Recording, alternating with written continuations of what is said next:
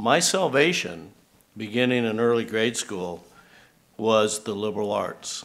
It was reading, exploring, and dreaming. Initially, it was fueled by Tarzan comics and Boys Life magazine. I'm glad they didn't have video games in those days. Then books and newspapers. They all took me to places I had never imagined. James Michener took me to South Africa and to Hawaii. Biographies of Geronimo and Chief Joseph taught me much about family, courage, honor, and community. Through the Seattle Times storytelling, I followed the long journey of Billy Frank Jr. in his successful, decades-long fight to restore salmon fishing treaty rights. This was my liberal arts education. Mostly it came from outside of formal education. But I was very fortunate to be raised by a strong, independent single mother who always nurtured my curiosity.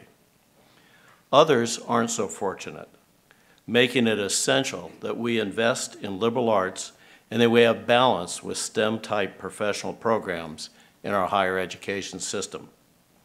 We have serious societal and economic disparities in our country and in Washington state.